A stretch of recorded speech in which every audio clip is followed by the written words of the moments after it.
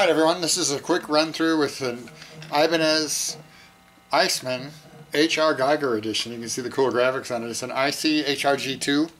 Uh, there were only 150 of these made. I've sold this thing, um, but I wanted to play with it for a few minutes first.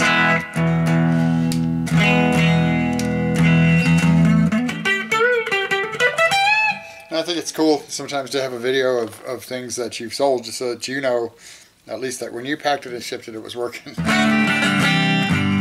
Plus, this thing's this thing's kind of a blast. It's a it's the same scale as a Les Paul. Look at that neck. That thing's crazy.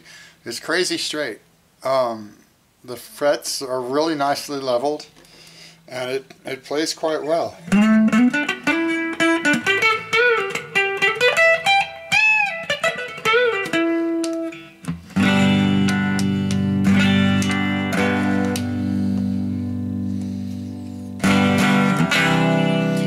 Like being able to blend the pickups with a separate volume control so that you can get a pretty good clean tone with like 80% on the uh, 100% on the bridge pickup and like 80 on, on the neck pickup. So it's full neck pickup there it is. A little thicker, but I like to roll it a little bit.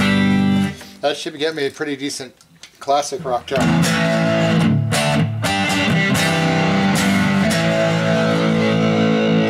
Guitar's got some gain to it. I just rolled the gain on my Marshall down to uh, 10 o'clock.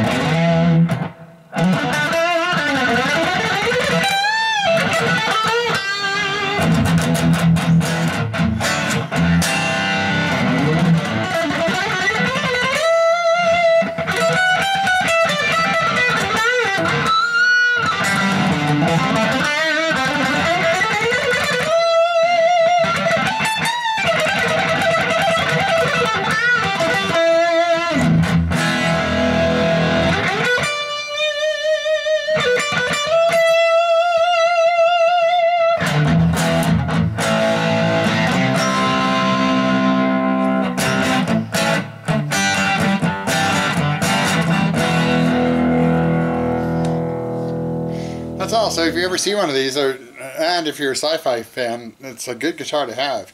This is just a stock Ibanez AH1 and AH2 um, humbucking pickups, and they sound decent for what they are. You know, and, and they're standard size. You could upgrade them to anything you want.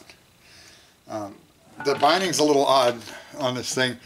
I don't know, don't know if you can see it, but it matches. It's kind of like a I don't know. It, almost looks like an abalone look. To it and you can barely barely see the side markers. That would be uh, really tough for me on stage. But if you don't care much about uh, side dots and all that it's a really cool looking guitar.